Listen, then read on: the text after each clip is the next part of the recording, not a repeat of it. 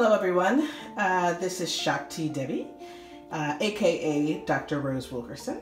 And I today I'm doing a video, a better demonstration of how to do Tarpanam at home. Um, I wanted to do that because there was something that was missing in the video that I had uploaded last week, so I wanted to make sure it was very clear as to what you do for Tarpanam. So remember Tarpanam is ancestor offerings, and you want to do that on a daily basis. And so what you can see here is, uh, first of all, I have uh, the ingredients for tarpana. You can see the grass in there, that's the darbha grass. You see rice, and then all, which is the white color, right? And then you there's also um, black sesame seed. So the rice could actually be rice flour. You can uh, definitely do that, or you could just do raw rice or uncooked rice. Okay, so that's my, uh, these are the ingredients. And then uh, you see here that there's a coin. So we're also supposed to use a coin, put that at the um, base of our palm as you'll see in the, in the demonstration that I'll do in just a moment. So I have a coin here. This is a dime here in US money. So use whatever metal um, coin that you have in your currency.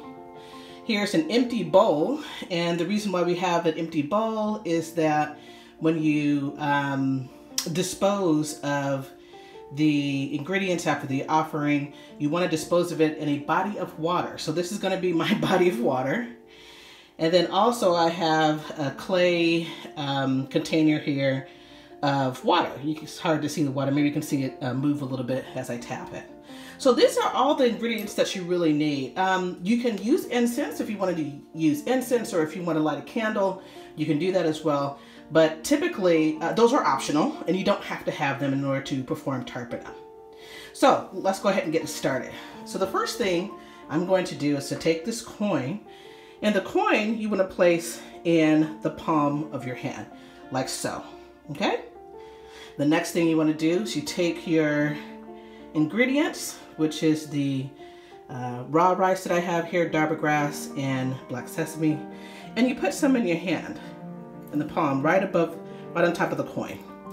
Oops, you see a little bit of it spilling out. Now you don't have to have a lot, you know, it's not about, um, you know, giving them a lot of, of, uh, of this mix.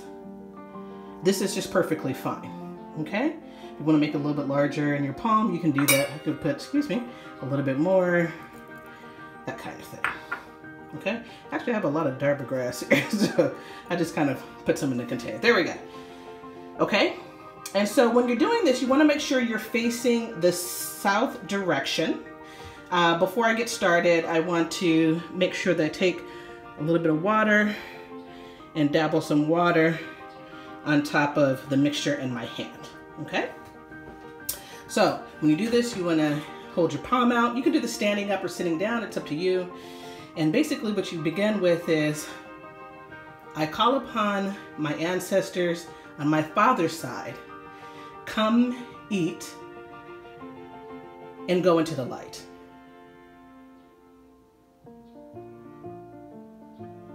And I call upon my ancestors on my mother's side, come eat and go into the light.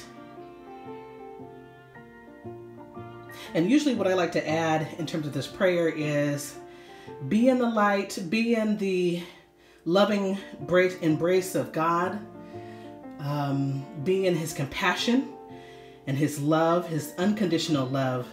Be the beings that God intended you to be and that he wants you to be. And so that's basically it for the prayer. Oh, and don't forget to bless me. That's the other thing that you want to say. And don't forget to bless me. When you're in the light, don't forget to bless me. And now I'm going to take the water and I take this water and I pour it into my palm so that the concoction goes into the body of water. Now, you can take the coin out and use it again when you do Tarpanam again. No need to, you know, give up all your money. and um, that's it, basically. So what do you do with this afterwards? Now, for some people, you can take this and pour this down the toilet because the offering has already been done. It's done. Um, so you don't have to worry about it. Or you would go outside and find, I guess, some other location to put it out in nature. Um, another body of water, perhaps. Okay? So that's basically how you do Tarpana. That's it. I hope this was helpful. If you have any questions, post them in the comments below. And don't forget to subscribe because I post a new video uh, every week, usually at the beginning of the week.